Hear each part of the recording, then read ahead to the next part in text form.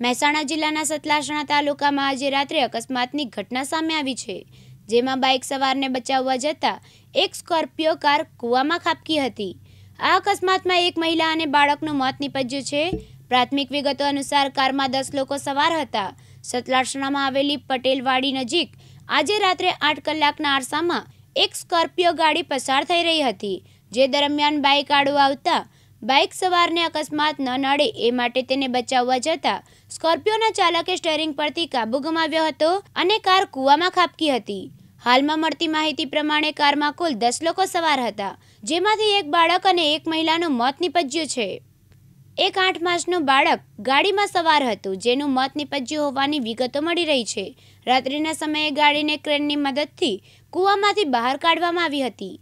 અકસ્માતમાં અન્ય લોકો ઘાયલ થયા હતા. ઘટનાની જાણ થતાં ગામના અને આસપાસના લોકોના ટોળે ટોળા ઉમટી પડ્યા હતા. જ્યાં પોલીસ કાફલો ઘટના સ્થળે દોડી આવી. વધુ તપાસ હાથ ધરી છે. અનુપસિંહ ચાવડા, દિવ્યાંગ ન્યૂઝ મહેસાણા.